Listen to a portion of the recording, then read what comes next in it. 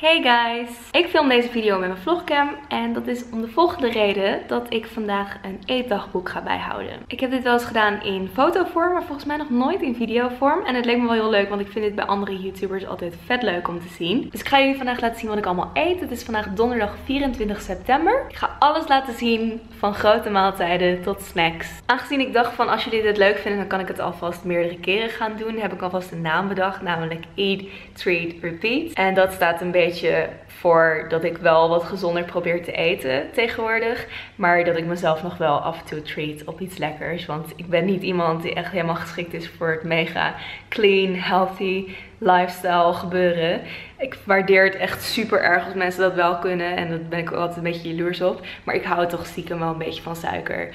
En van vettigheid en van slechte dingen. Dus eat, dat staat voor gezond eten. Treat, dat staat voor af en toe iets minder gezond eten. En dan repeat, want ik eet natuurlijk elke dag. Het is nu ochtend, dus laten we beginnen. Oké, welkom in mijn keuken.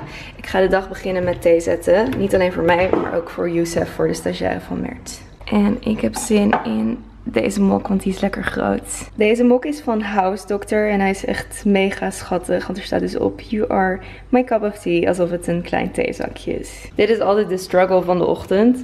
Bedenken wat voor thee ik ga nemen. En inmiddels zijn wel de meeste smaken een beetje aan het leeg gaan. Hé, hey, waarom zit hij in beide vakjes deze smaak? Ik kan hem beter eventjes bijvullen met een nieuwe smaak. Deze smaak heb ik gekregen van Sabine voor mijn verjaardag. En deze had ik zelf nog gekocht. Alle drie zijn ze van Yogi Tea. Welke zal ik nemen? Ik denk dat ik voor deze ga. Met basilicum, sinaasappelschil en chili. Ik vind dat echt wel heel spannend klinken. Deze even naar Yusuf brengen. Ik vind het echt super lekker om de dag te beginnen met fruit. Maar wat ik doe is ik ga een smoothie bowl maken. Ik ga dus van de yoghurt, de blauwe bessen en de banaan ga ik een smoothie maken. Die doe ik vervolgens in een bakje en dan snij ik toch de appel er doorheen om uh, wat stukjes erin te hebben. Doe ik er nog wat muesli doorheen. En op die manier heb ik echt even een vitamine boost in één keertje in de ochtend. Als mijn thee trouwens sterk genoeg is, dan doe ik mijn theezakje hierin. Hoe schattig is dit? Er staat zo binnen I love tea. Maar als je zo kijkt, is het dus een klein theekopje. Deze komt trouwens van de Xenos. Die kan je volgens mij gewoon nog kopen. Oké, dus mijn yoghurt die doe ik eigenlijk altijd gewoon een beetje op gevoel. Zoiets.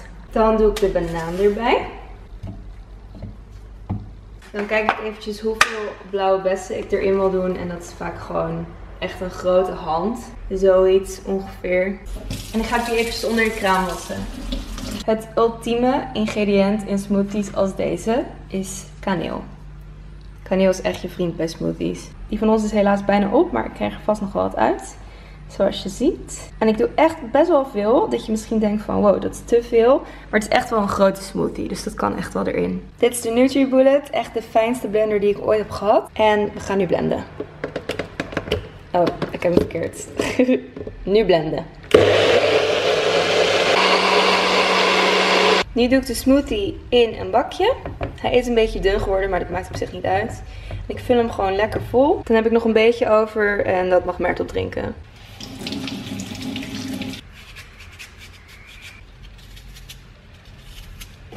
Oké, ik doe een halve appel in de smoothie en de rest eet ik gewoon los op.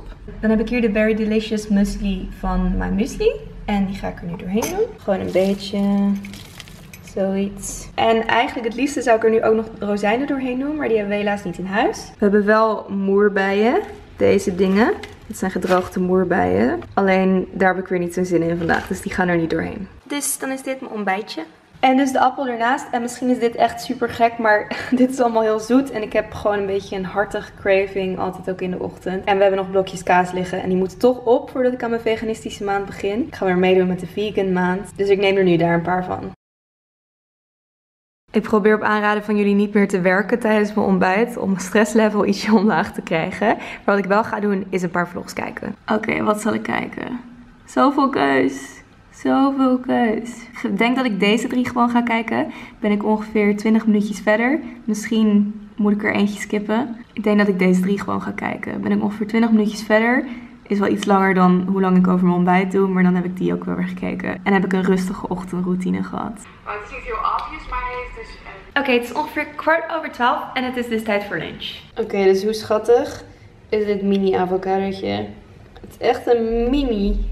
Kijk nou hoe schattig klein. Ik heb ze vast al wel eens eerder laten zien, maar dit zijn mijn favoriete crackers ever. Dit zijn ze, de Rosemary and Sea Salt Delicate Crisp uh, crackers van Wasa. Die zijn zo ontzettend lekker. Dus die ga ik vullen met avocado. Maar dat is niet voldoende voor een lunch voor mij, want ik lunch altijd best wel groot. Wow, ik probeer ze netjes naast elkaar te leggen.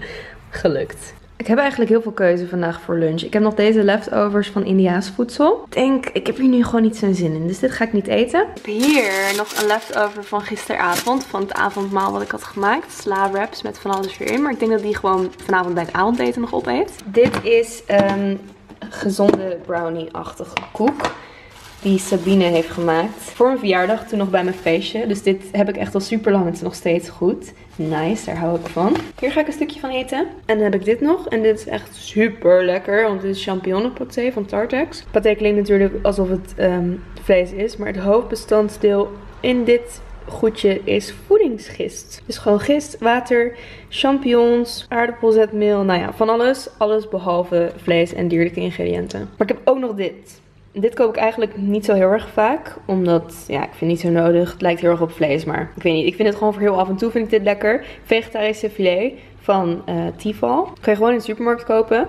En ik zit te denken of ik dit erop ga doen. Want ik heb hier wel heel veel zin in op het moment. Zo, dit is het geworden. Groot glas water, want ik vergeet constant te drinken. Crackers met avocado boterham met vegetarische filet en stiekem een heel klein beetje mayonaise eronder. Ik zei het al van tevoren, niet alleen eat, maar ook treat. En dus een stukje van een gezonde brownie. Ik ben nog iets cruciaals vergeten. Het liefst doe ik zeezout, maar heb ik nu niet in huis.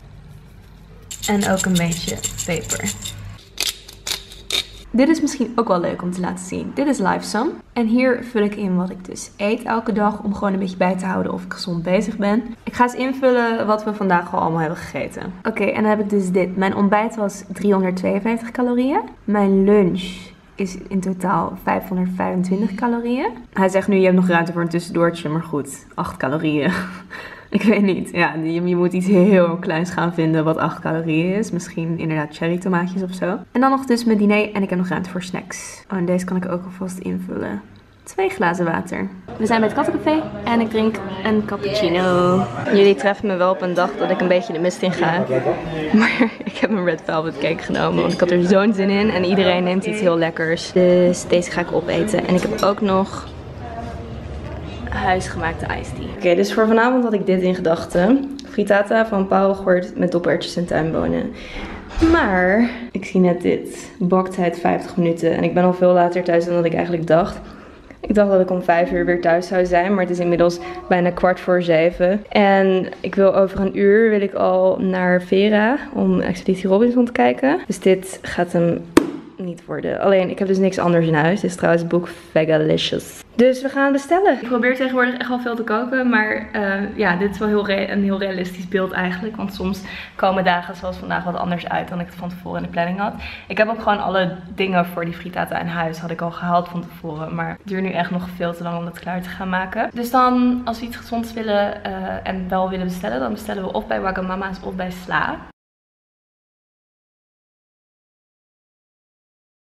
Hey, het is inmiddels alweer vrijdag, maar ik was vergeten om uh, het eetdagboek gisteren af te sluiten. Want het was heel hectisch en we moesten heel snel naar Vera om Expeditie Robinson te kijken. Wat ik daar dus at was uh, noedelsoep van Wagamama. We hadden toch niet voor sla gekozen, maar voor Wagamama. En uh, dat is de groente noedelsoep. Heel lekker, er zit tofu in en omelet en paddenstoelen. Maar dat was mijn eetdagboek van gisteren. Ik hoop dat jullie het leuk vonden. Als je tips hebt of dingen die beter kunnen of weet ik veel leuke uh, tips voor eten nog voor mij, dan uh, laat het dan zeker achter. En laat ook weten of je dit leuk vond om te zien, want dan kan ik het gewoon wat vaker gaan doen. En zeker omdat ik aankomende maand, uh, de hele maand oktober ga ik veganistisch eten, vinden jullie het misschien ook wel interessant om te zien wat ik dan eet op zo'n dag. Bedankt voor het kijken en tot vrijdag. Hartjes. Ik kan geen hartjes doen met maar één hand, maar hartjes. Doei!